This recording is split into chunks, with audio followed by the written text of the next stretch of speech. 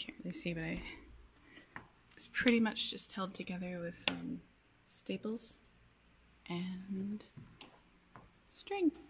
Lots of staples and string. And a bunch of this weird white fabric that I got. And if you walk inside,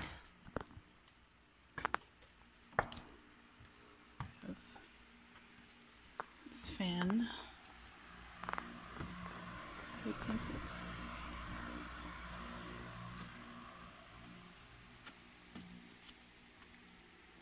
And I reused a bunch of these Dreamcatcher things that I made for another project last year.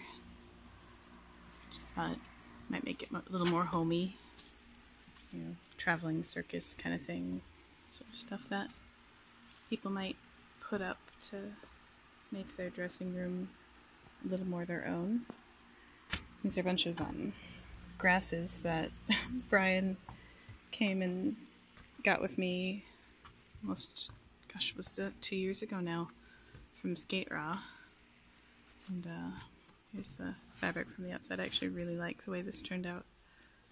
And um, yeah, anyway, that is just a quick little walkthrough of our um,